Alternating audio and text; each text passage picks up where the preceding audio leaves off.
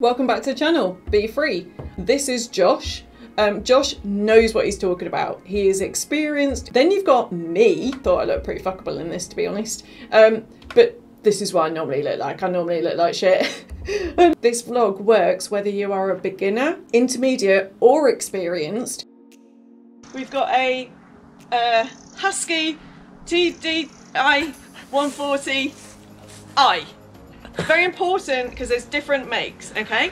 And then we've got a KTM um, EGKTM that is also a 2022. Wait, what was this one? What is it? A Husqvarna TE 150i TPI version 2022 KTM XCW 150 TPI. I nearly got, I didn't do very well on that one. Right, so there's some variances between the two and that's what we're going to talk about. Both bikes are basically brand new. So the Husky's got two hours and 15 minutes on it. And the KTM's got four hour, four and a half hours.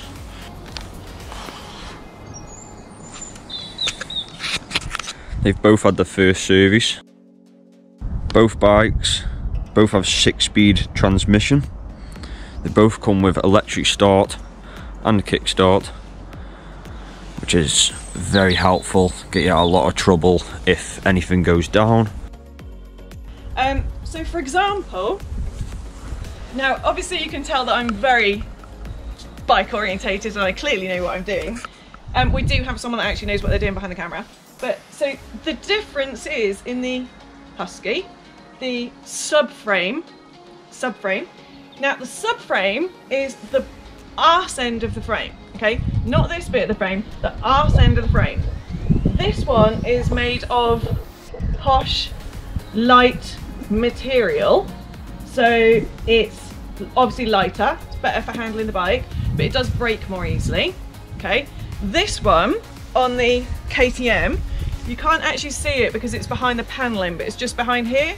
This is heavier, doesn't break as easily. Yeah? Yeah? Oh, I, think, I thought it sounded quite good then. Right. Uh, when it comes to the frame, you get a point for the Husky. Yeah? No, we don't get a point on the frame. Fuck. Right. So the Husqvarna is made, this, the subframe is made out of 70% plastic Yeah. and 30% carbon Yeah. fibre, so it's a little bit lighter weight. Yeah. But with carbon fibre, it just shatters. Right. So on the four corners, this Yeah. corner, the Yeah. same far corner, and Yeah. the top points, Yeah. they tend to snap. Right. As Okay. on the.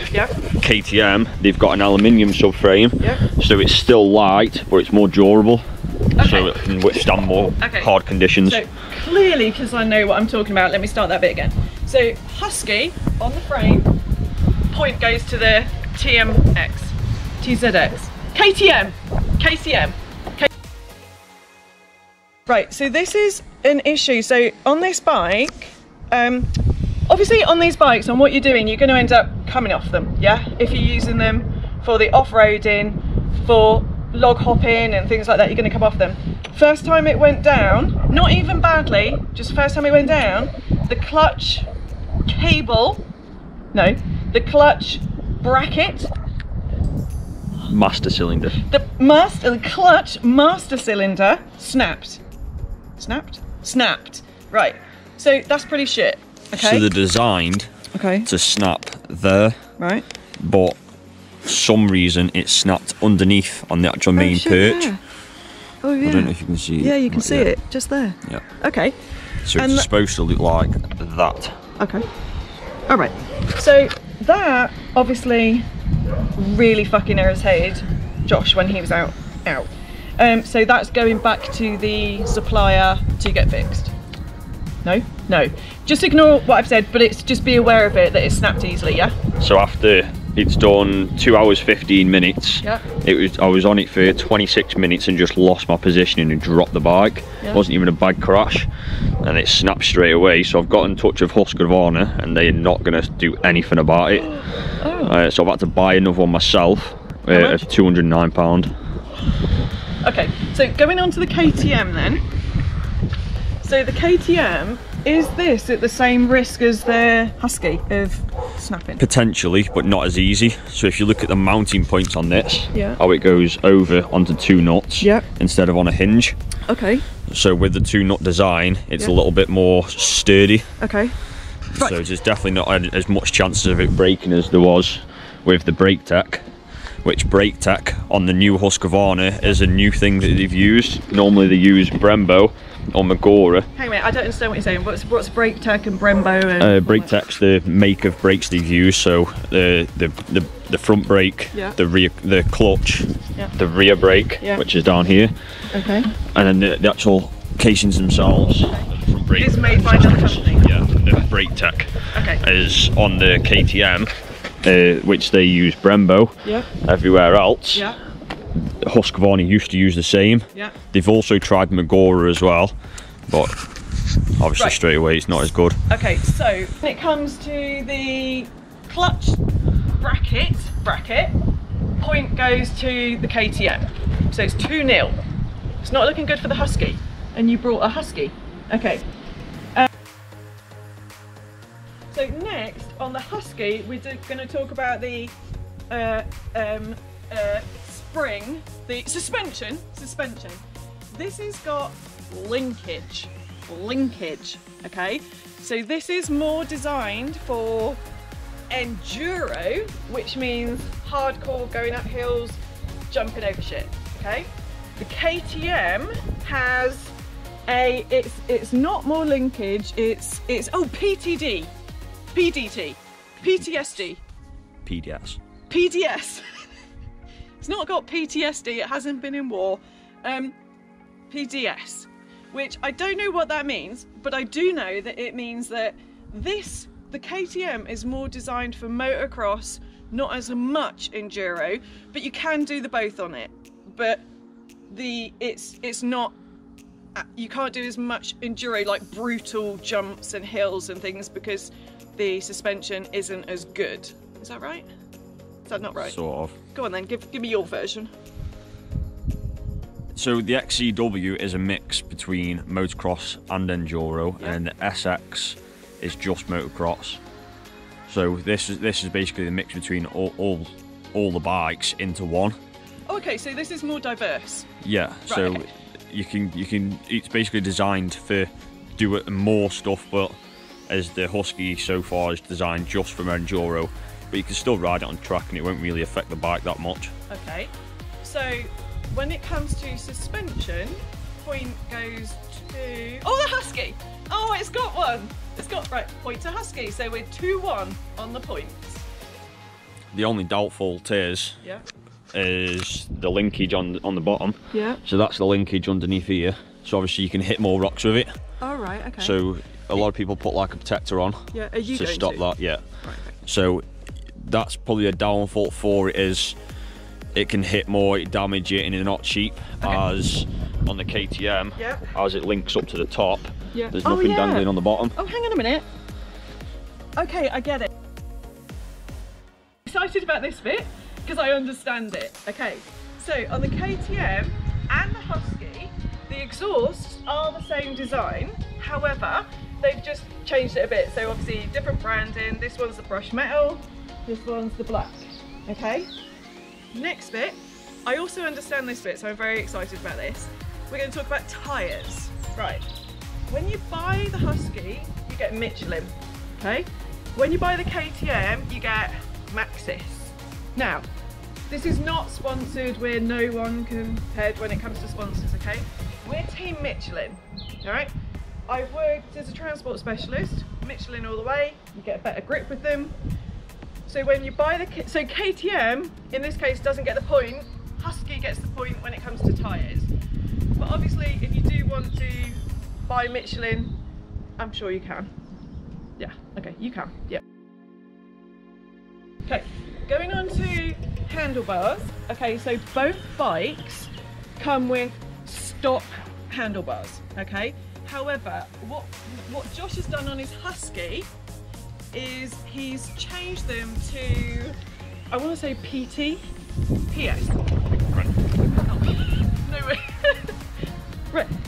Oh, it's even written there. Rent. Sorry, right. He's changed his to these handlebars because they are wider and higher and that's comfortable for him when he's riding. But this is really important because we have found when working with people that people don't understand that when you get these bikes, you need to adapt them to you. So you, when you go, when you first get your bike, even if you buy second hand, you need to have a go and then you can adjust the handlebars. Just the handlebars? Can you adjust other stuff? You can just pretty much anything on the bike. Like the seat and stuff like that. Yeah, so you can, we'll stick with handlebars, right? So you can, it's actually quite easy to adjust them. But my advice is, because of the value of these bikes, if you don't know what you're doing, speak to a professional.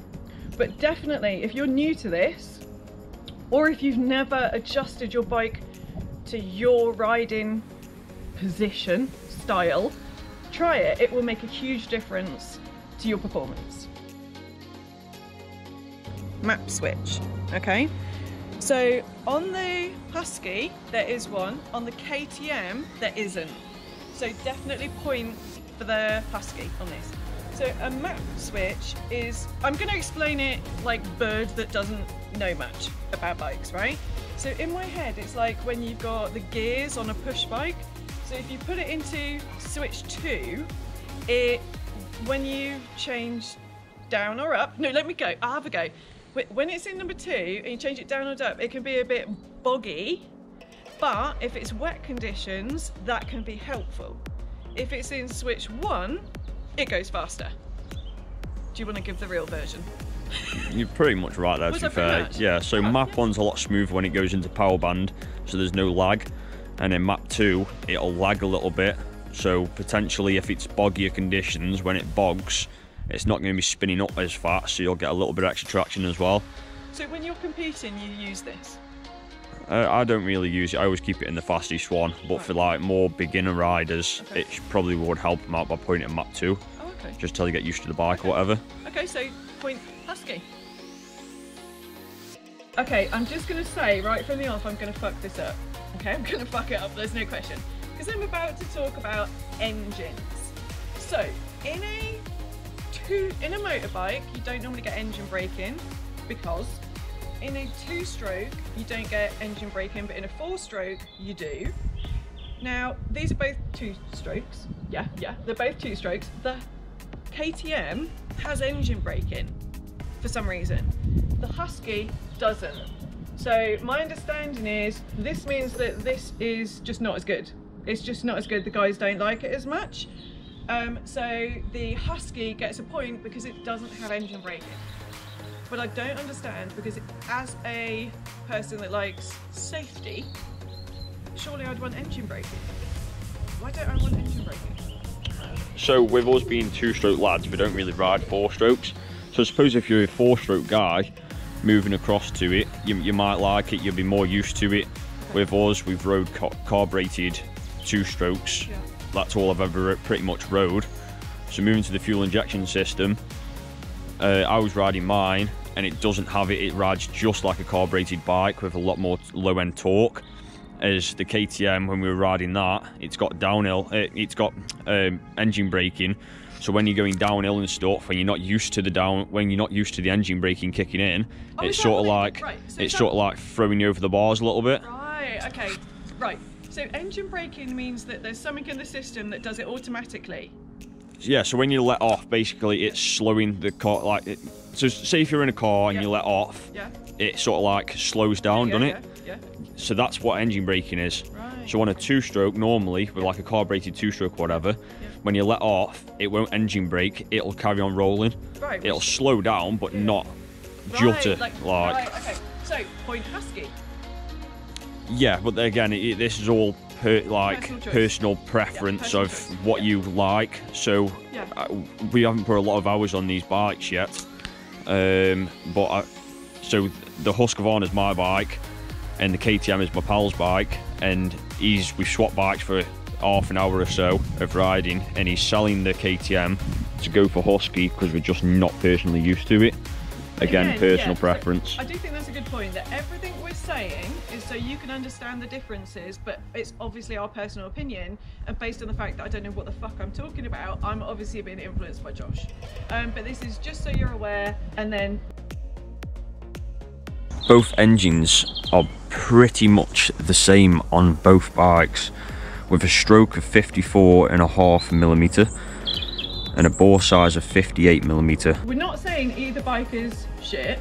We're just saying these are the differences. Yeah, it's just personal vote. experiences Yeah, of owning the think. bikes. So KTM, like, still lovely, but we're kind of team Husky. Okay, I've got something I could talk about. I've got brace yourself. Right. So the KTM, follow me, please. You know, gonna be impressed. KTM headlight is different to the Husky. Uh, obviously, like I'm like, oh, it's a different shape. I don't know the real reason, but you prefer the KTM to the Husky, don't you? I thought you, oh bollocks! I was trying to be nice to the KTM. So you actually prefer the Husky? I prefer, I prefer the shape of it, but again, that's just looks wise. It, it does no difference whatsoever. It's just looks personally. It's like I prefer how it sticks out and how square it is. All right. Um, but again, personal preference. Okay, so there's no difference in performance. It's No difference. Yeah. Okay, right. Okay, I right. I'm, I'm a bit confused because we're just doing the next section on Josh attempting to teach me something so I can explain it and fuck it up. So he's just explained to me that on these you have to like in my head I'm like you go to a garage, you twizzle your nozzle, you put your fuel in. No, not on these. You have to do some sort of mix. No, so on carbureted bikes, uh, you have to mix. carbureted? So this is this is TPI. This is uh, by the by the throttle body and stuff. So all the throttle body and everything's down there. Right. It's just a new technology they're bringing out. But you can tell by looking at it it's carbureted. No, th- this this is a TPI. So how can I, how do I know as someone that's buying a new bike whether I've got a mixed fuel or not? By the top containers. It'll, it'll say when you're buying the bike either way. Okay. So on a carbureted bike, you have to pre-mix the fuel. So say when I had my old, my, my old bike was a, a TM, that Yeah. was carbureted. Uh, yeah, carbureted. Sorry. Um, so mine was five liters of fuel to 125 mil two-stroke. Oil. Yeah. So where does so the fuel go in? your fuel goes in your main tank, Yeah. And then your oil, which is your two-stroke, goes Right. in the top tank. Right. So you flip that up, Yeah. twist it, Yeah. and then top it up. Okay. So that goes into there, which Yeah. runs through the frame, Yeah. and it goes into that little bottle here. Oh, hang on a minute. It's got Yeah. a little little bottle yeah, there, yeah. which runs through your line and everything. Then, which Okay. is just there. I don't know if you can see it coming up. Yeah. Okay. Which then goes inside the throttle body, which then squirts in with your fuel and mixes it mixes okay. As the bike's running. Okay. As a carbureted bike doesn't do that, so you mix it in with your fuel. So when it goes into the carb, which then squirts into the engine, it's already mixed. Right, hang on a second. So the this you've got two separate things. Yeah. Right. On the other one, it, you can't put oil into the fuel. You do, yeah. You, it mixes. You. It's two. It's two-stroke oil, so it's not like the car oil. Oh right. Okay. So it's like posh oil. Yeah. So it, so if I didn't have this one with whatever letters it is, Mhm. I would have to when I went to fuel up, I'd have to undo this, put in my fuel, Yep. and put in oil. Yep. I never even knew that. What the fuck? What if people forget it? A bike guy won't forget. If you, if you do forget to put it in and you run it just on fuel, Yeah. you'll blow the engine. Oh. Same as this. So exact same as this. If I don't fill that up and it goes dry, Yeah. The engine will seize. Okay, so I have questions then because a lot of people with cars, men Mm-hmm. and women, don't check their oil as often as they should. It's Right. different oil. Yeah, I know, is. but my point is people don't check it. But So- they don't have it. It's only two strokes. Yeah, I know, but it's still like checking oil on a car, isn't it? You still have to check it. But what my point is, a lot of people don't. So there must be incidents where people get these and they don't get this education because they buy it second hand and they've got one for a first time and they don't understand how important this is. Because I wouldn't have known that. Or, or you. So you're basically saying if you've grown up with them, you just know. Yeah. Okay, but this vlog, hopefully, people that don't have a clue will be learning something, like me. Maybe, hopefully. Okay, cool. So your engine oil, Yeah. which Charlie's on about, is actually in here. Okay. So both of them hold the exact same, with like say technically the same engine anyway, Oh, which is so- eight, yeah. so 800 Yeah. mil. So you, that's where you fill it up. Yep. Take that cap off. That's where you top Where's it up. Where's my um dipstick? Uh, they don't have one, so you just use a measuring jug to drain it. The nut is just two so I can't see the there. So So- un undo that, your oil will come out. Yeah. Tip the bike on its side a little bit, let it all fully drain out. Change the little copper washer, put it back in, and then top it up from the other side where it's just showing you. And is this the same on the KTM? Exact same on the KTM, yeah. Okay. Okay, cool. But it will differ depending which make and model bike. Oh yeah, yeah. Good point. Yeah. So check your manuals for before you listen to us. Yeah, speak to a professional, check your manuals. It's just our opinion. Brilliant. Okay. Going to talk about heights and weights. Okay, so the seat height on both is the same at 990, 98, 96, 950. 950. I'm kind of close on the first one. The height from here to the this bit that you don't want to hit is the same on both, which is 370. 370. But the interesting bit for me is, especially for me riding the bike, is the weight. Okay, so the Husky is 99.6. Um, this is 96.8. I fucking nailed it. So 0.4 KTM because I think lighter is better. Um, but I am pretty feeble, so I, you know, for me the weight of these would be a problem. So yeah, point point KTM. Prices. Okay, so the prices for both bikes is actually that's really similar. It depends on the dealership you go to. So they're about eight thousand seven hundred pounds. So these, you know, this is quite pricey kit. Um, our preference at Be Free is we are Team Husky. Okay, but again, it's personal preference. So we are, we, you know, we are just giving you our opinion. It's completely up to you what you spend your money on. This is just supposed to be like helpful information and for me to learn some more. So we are Team Okay. Oh, sorry, I got something in my eye. Right. How to mount your bike. So I used to horse ride, so you always start on the left, okay?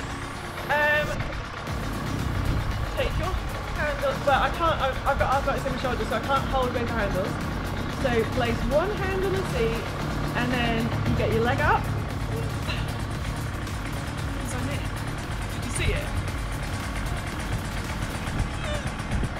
Ah!